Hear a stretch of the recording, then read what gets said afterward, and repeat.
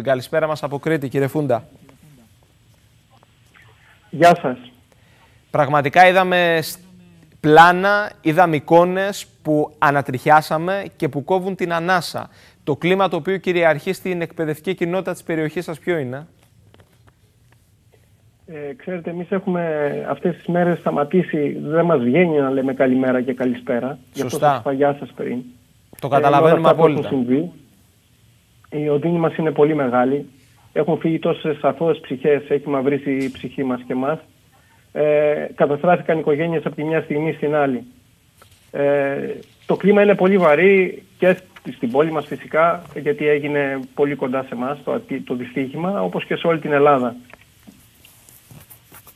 Σήμερα λοιπόν αυθόρμητα χιλιάδες μαθητές μαζεύτηκαν στην κεντρική πλατεία της Λάρισας για να διαδηλώσουν την αγανάκτησή τους και την ε, προσπάθεια που κάνουμε όλοι δηλαδή έτσι ώστε να κινητοποιούμε τους πολιτικούς μας να λειτουργούν ε, πριν συμβούν τραγωδίες και όχι μετά τις τραγωδίες. Αυτό είναι το σημαντικό που πρέπει να μάθουν από όλη αυτή την κινητοποίηση των ε, Ελλήνων σε όλη την Ελλάδα, σε όλη τη χώρα.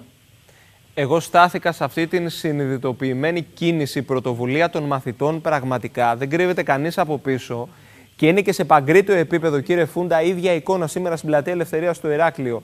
Κατέβηκαν τα παιδιά, καθώς αύριο μεθαύριο θα χρειαστούν και αυτά τα παιδιά, ένας 16χρονο, 17χρονο να μπει σε ένα τρένο και τι θέλει, το αυτονόητο. Να φτάσει στον προορισμό του, να αγκαλιάσει τα αδέλφια του, να αγκαλιάσει τη μητέρα του και τον πατέρα του.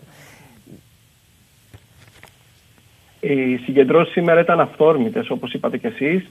Εξάλλου, ε, είναι κατανοητό όταν υπάρχουν υπάρχει μια τέτοια καταστροφή δεν ε, χωράνε ε, μικροκομματικοί ε, υπολογισμοί. Είναι πάνω από ιδεολογίες, πάνω από κόμματα, αν είναι δυνατόν να σκεφτόμαστε έτσι. Οπότε οι αυθόρμητες συγκεντρώσεις αυτές προσπαθούν να πιέσουν τους πολιτικούς έτσι ώστε επιτέλους να σταματήσουν αυτή την ε, τακτική που ακολουθούν που δυστυχώς διατρέχει την Ελλάδα από τη μια άκρη στην άλλη, την πολιτική του οχαδερφισμού και του βολέματος ανθρώπων σε θέσεις που δεν πρέπει να υπάρχουν πραγματικά.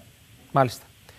Κύριε Φούτα, θέλω να σας ευχαριστήσω πολύ. Ε, αυτό που είπα στον Αντιδήμαρχος στη Λάρισα, ευχόμαστε να τα ξαναπούμε υπό διαφορετικές συνθήκες, με θέματα που έχουν να κάνουν με προβλήματα της εκπαιδευτικής κοινότητας. Το γνωρίζω πάρα πολύ καλά, επιθυμείτε να αναδείξετε. Ε, να σας ευχαριστήσω θερμά. Εμείς ε, στηρίζουμε πάντα τους ε, μαθητές μας και συμμετέχουμε στις αγωνίες τους. Ε, γι' αυτό και σήμερα σαν Ένωση Καθηγητών ήμασταν και εμείς στην πορεία μαζί τους. Σας ευχαριστώ πολύ για τη φιλοξενία. Εγώ ευχαριστώ. πραγματικά να τα πούμε κάτω από καλύτερες συνθήκες. Εγώ ευχαριστώ πολύ κύριε Φούντα, να είστε καλά.